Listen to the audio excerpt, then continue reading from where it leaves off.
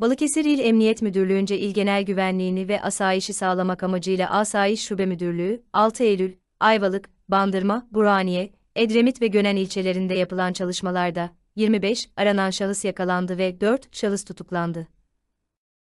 Yapılan aramalarda 4 adet ruhsatsız tabanca ve tabancalara ait 19 adet fişek, 1 adet kuru sıkı tabanca ele geçirildi.